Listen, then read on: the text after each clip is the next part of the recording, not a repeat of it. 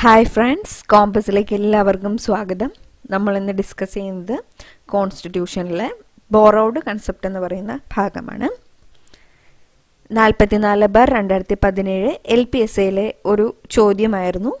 മൗലിക അവകാശങ്ങൾ കടമെടുത്തത് ഏത് രാജ്യത്ത് നിന്ന്? മൗലിക അവകാശങ്ങൾ കടമെടുത്തത് ഏത് രാജ്യത്ത് നിന്ന്? പി എസ് സി നടത്തുന്ന പത്ത് പരീക്ഷകളിൽ ഒൻപതെണ്ണം എടുത്താലും അതിൽ ബോറോഡ് കൺസെപ്റ്റിനെ പറ്റിയൊരു ചോദ്യം ഉറപ്പായിട്ടും നമുക്ക് കാണാൻ സാധിക്കും. ഈ ചോദ്യത്തിന് ഉത്തരം നമുക്ക് ഈ വരുന്ന സെക്ഷനിൽ നിന്ന് തന്നെ കിട്ടുന്നതായിരിക്കും. അപ്പോൾ ഉത്തരം കിട്ടുമ്പോൾ എല്ലാവരും ഉറപ്പായിട്ടും ഒന്ന് കമന്റ് ചെയ്യുക. ആദ്യത്തത് government of India act nineteen thirty five Indian കോൺസ്റ്റിറ്റ്യൂഷനിൽ ഏറ്റവും കൂടുതൽ ഭാഗം കടമെടുത്തിരിക്കുന്നത് government of India act nineteen thirty ഫൈവിൽ നിന്ന് തന്നെയാണ്. ഇത് blue print of Indian constitution എന്നാണ് അറിയപ്പെടുന്നത്. ഓഫീസ് ഓഫ് ഗവർണർ അഥവാ ഗവർണർ എന്ന് പറയുന്ന പദവി കടം കൊണ്ടിരിക്കുന്നത് അതേപോലെ federal system emergency provisions P S C. ശ്രദ്ധിക്കുക എമർജൻസി പ്രൊവിഷൻസ് എന്ന് ചോദിക്കുകയാണെങ്കിൽ ഈ ആക്ട് എഴുതുക കൺട്രി ചോദിച്ചു കഴിഞ്ഞാൽ നമ്മൾ എഴുതേണ്ടത് ജർമ്മനി എന്നാണ്. അടുത്തത് യു എസ് എ ആണ് അഥവാ America. Concept of written constitution ലിഖിത ഭരണഘടന എന്ന ആശയം കടം കൊണ്ടത് യു എസ് എയിൽ നിന്നാണ്. ലോകത്തിലെ തന്നെ ഏറ്റവും വലിയ ലിഖിത ഭരണഘടന ഇന്ത്യയുടേതാണ്. ഏറ്റവും ചെറിയ ലിഖിത ഭരണഘടന യു എസ് എയുടേതുമാണ് അതേപോലെ ഫണ്ടമെന്റൽ റൈറ്റ്സ് മൗലിക അവകാശം. നമ്മുടെ ചോദ്യം ഓർക്കുന്നുണ്ടല്ലോ? ആ ചോദ്യത്തിന് ഉത്തരം അപ്പം എന്താണ്? U S A മൗലികാവകാശം supreme court federal system the preamble judicial review method of removal of supreme court and high court judges impeachment equal protection of law ഇത്രയും കാര്യങ്ങൾ നമ്മൾ കടം കൊണ്ടിരിക്കുന്നത് യു എസ് എയിൽ നിന്നാണ്. ഒന്നുകൂടെ പറയാം. Concept of written constitution fundamental rights supreme court supreme കോടതി federal system the preamble judicial review method of removal of supreme court and high court judges impeachment equal protection of law next one Britain ബ്രിട്ടനിൽ നിന്ന് കടം കൊണ്ടത് nominal head president അതായത് പ്രസിഡന്റിന് നാമമാത്രമായ അധികാരം. Post of prime minister and functions bicameral system cabinet system parliamentary form of government speaker in lower house speaker in lower house speaker എന്ന് പറയുന്ന പദം തന്നെ ഉൾപ്പെടുത്തിയിരിക്കുന്ന ആർട്ടിക്കിൾ ആർട്ടിക്കിൾ നയന്റി ത്രീ ആണ്. ആർട്ടിക്കിൾസിനെ പറ്റി നമുക്ക് വിശദമായിട്ട് മറ്റൊരു സെഷനിൽ ചെയ്യാം.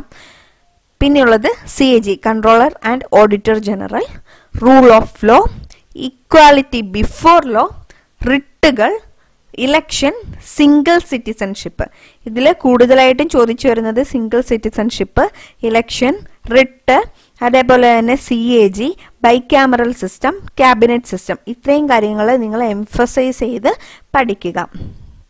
Next U S S R അഥവാ റഷ്യ. റഷ്യയിൽ നിന്ന് കടം കൊണ്ടത് ഫണ്ടമെന്റൽ ഡ്യൂട്ടീസും ഫൈവ് ഇയർ പ്ലാനുമാണ് സ്ഥിരം ചോദിക്കുന്ന ചോദ്യമാണ്. Fundamental duties and five year plan കടം കൊണ്ടത് യു എസ് എസ് ആറിൽ നിന്നാണ്. ഫണ്ടമെന്റൽ റൈറ്റ്സ് നമ്മൾ എവിടെ നിന്നായിരുന്നു? അമേരിക്കയിൽ നിന്ന്.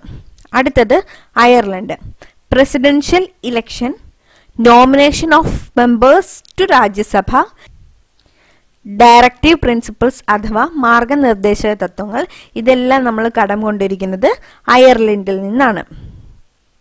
നെക്സ്റ്റ് വൺ കാനഡ കാനഡയിൽ നിന്ന് യൂണിയൻ ലിസ്റ്റ് സ്റ്റേറ്റ് ലിസ്റ്റ്. ഈ രണ്ട് ലിസ്റ്റുകളും കാനഡയിൽ നിന്ന് കടം കൊണ്ടു. അതേപോലെ തന്നെ റെസിഡ്യുവൽ പവേഴ്സ് അഥവാ അവശിഷ്ടാധികാരം. സ്ഥിരം ചോദിക്കുന്ന ഒന്നാണ്. ഇത് അതേപോലെ തന്നെ quasi federal system federation with strong centre ഈ കൺസെപ്റ്റുകൾ എടുത്തത് കാനഡയിൽ നിന്നാണ്. യൂണിയൻ ആൻഡ് സ്റ്റേറ്റ് ലിസ്റ്റുകൾ അതേപോലെ residual powers quasi federal system and federation with strong centre French കോൺസ്റ്റിറ്റ്യൂഷനിൽ നിന്നെന്ന് ചോദിച്ചു കഴിഞ്ഞാൽ നമുക്ക് എഴുതാം. ലിബർട്ടി ഇക്വാളിറ്റി ഫെർട്ടേണിറ്റി ഇത് ഫ്രഞ്ച് വിപ്ലവവുമായി ബന്ധപ്പെട്ട വാക്കുകളാണ്. ഇത് നമ്മൾ കടം കൊണ്ടത് ഫ്രാൻസിൽ നിന്നാണ്. അതേപോലെ തന്നെ റിപ്പബ്ലിക് എന്ന് പറയുന്ന ഒരു കൺസെപ്റ്റ് എടുത്തതും ഫ്രാൻസിൽ നിന്നാണ്. അതേപോലെ നെക്സ്റ്റ് വൺ ഓസ്ട്രേലിയ ഓസ്ട്രേലിയയിൽ joint sitting trade and commerce concurrent list union ലിസ്റ്റും സ്റ്റേറ്റ് ലിസ്റ്റും നമ്മൾ എവിടെ നിന്നായിരുന്നു?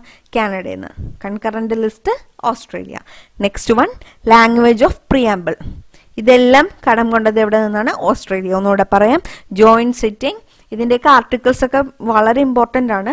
അതെല്ലാം നമ്മൾ മറ്റൊരു സെഷനിൽ ചെയ്യും. Joint sitting trade and commerce concurrent list language of preamble South ആഫ്രിക്കയിൽ നിന്ന് കടം കൊണ്ടത് അമെൻമെന്റ് ഓഫ് കോൺസ്റ്റിറ്റ്യൂഷൻ വളരെ ഇമ്പോർട്ടന്റ് ആണ്. വളരെയധികം പരീക്ഷകൾക്ക് ചോദിച്ചിട്ടുണ്ട്. അമെൻമെന്റ് of constitution election of members of Rajya Sabha election of members of Rajya Sabha അടുത്തത് ജർമ്മനിയാണ്.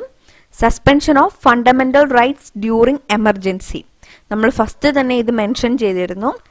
എമർജൻസി കടം കൊണ്ട് രാജ്യം ഏതെന്ന് ചോദിച്ചു കഴിഞ്ഞാൽ നമുക്ക് ജർമ്മനി എന്ന് എഴുതാം. അതേപോലെ തന്നെ എമർജൻസിയുമായി ബന്ധപ്പെട്ട രാജ്യം ഏതെന്ന് ചോദിച്ചു കഴിഞ്ഞാലും ജർമ്മനി എഴുതാം. പക്ഷേ ഏത് ആക്റ്റുമായി ബന്ധപ്പെട്ടിരിക്കുന്നു? എമർജൻസി എന്തുമായി ബന്ധപ്പെട്ടിരിക്കുന്നു എന്ന് ചോദിക്കുകയാണെങ്കിൽ government of India act nineteen thirty five എന്ന് എഴുതുക. രാജ്യമെന്നോ ഇല്ലെങ്കിൽ suspension of fundamental rights during emergency എന്നോ ചോദിച്ചു കഴിഞ്ഞാൽ ജർമ്മനി എന്ന് എഴുതാം. ഇതെല്ലാവർക്കും തെറ്റിപ്പോകുന്ന ഒരു ഭാഗമാണ്. അപ്പോൾ ഇതൊന്ന് ശ്രദ്ധിക്കുക. വളരെ ചെറിയ കാര്യമാണ്. അപ്പോൾ നിങ്ങൾക്ക് എല്ലാവർക്കും ഈ വീഡിയോ ഇഷ്ടപ്പെട്ടു എന്ന് വിചാരിക്കുന്നു. നിങ്ങൾക്ക് കോൺസ്റ്റിറ്റ്യൂഷനിൽ ബോറോഡ് കൺസെപ്റ്റ് എന്ന് പറയുന്ന ഒരു ഭാഗം വന്നു കഴിഞ്ഞാൽ ഈ ഒരു വീഡിയോയിൽ നിങ്ങൾക്ക് എല്ലാ തരത്തിലുള്ള ചോദ്യങ്ങളും ഉൾപ്പെടുത്തിയിട്ടുണ്ട് എന്ന് ഞാൻ വിശ്വസിക്കുന്നു. ഒരു മാർക്ക് ഇതിൽ നിന്ന് ഞാൻ നിങ്ങൾക്ക് ഉറപ്പ് നൽകുന്നു. അപ്പോൾ ഈ വീഡിയോ നിങ്ങൾ ലൈക്ക് ചെയ്യുക ഷെയർ ചെയ്യുക ചാനൽ സബ്സ്ക്രൈബ് ചെയ്യുക സബ്സ്ക്രിപ്ഷൻ ബട്ടണ് സമീപമുള്ള ബെല്ലൈക്കൺ ക്ലിക്ക് ചെയ്യുകയാണെങ്കിൽ അപ്ലോഡ് ചെയ്യുന്ന വീഡിയോസ് ആദ്യം തന്നെ എത്തിച്ചേരുന്നതായിരിക്കും. അപ്പോൾ നമുക്ക് അടുത്ത വീഡിയോയിൽ കാണാം. അതുവരെ ബൈ